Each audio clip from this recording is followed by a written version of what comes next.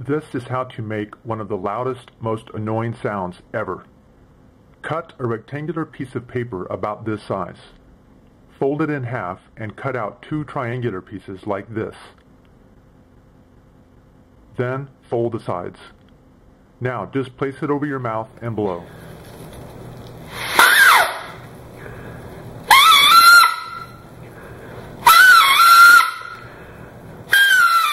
It's hard to hear the full effect on video. Try it yourself and you will see how incredibly loud this is.